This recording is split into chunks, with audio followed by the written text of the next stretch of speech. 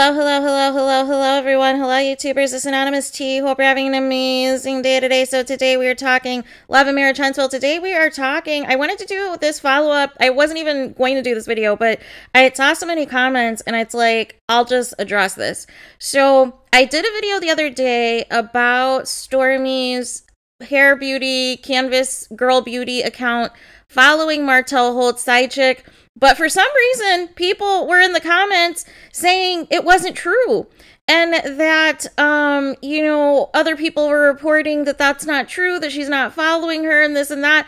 And, and, and I'm here to tell you, yeah, yeah, they are. They're following each other. I never said it was Stormi's personal account, you guys. I told you guys I went to verify the information for myself and went to the personal page first, and then I went to her Canvas Girl Beauty page, which most likely is being ran by her as well, and saw that they were following each other, right? Now, I don't know when they started following each other. I don't know if they've ever done business together, but if Melody Shari says that they're good, then they're good.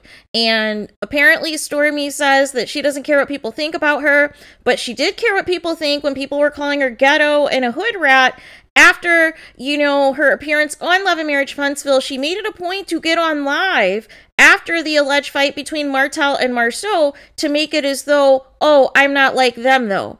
I'm not like what you guys said. You know, basically trying to like puff herself up because for you know this particular instance she was not considered ratchet so there's that but yeah i just wanted to clarify you guys um i i do not report fake news here i do not report lies here um, you know, maybe moving forward for certain things, I'll, you know, post more screenshots and clips for you guys so that way um, you guys aren't think that I'm just pulling it out of thin air. Um, so, but it is true. If you go to her Canvas Beauty page, and I will leave up in this video, you can see that she does in fact follow Martell Holt's side chick, you guys.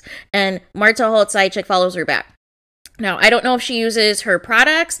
I don't know if they did some type of campaign together in the past. I don't know if they've known each other prior to all of the Love and Marriage Huntsville stuff.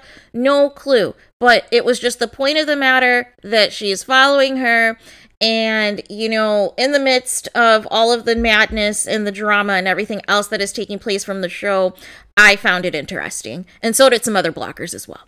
So there is that. But let me know your guys' thoughts in the comments. Please do not forget to like, comment, and subscribe. Hit the notification bell so you're notified the moment I post new content on my channel. And with that being said, I'll talk to you guys again very soon.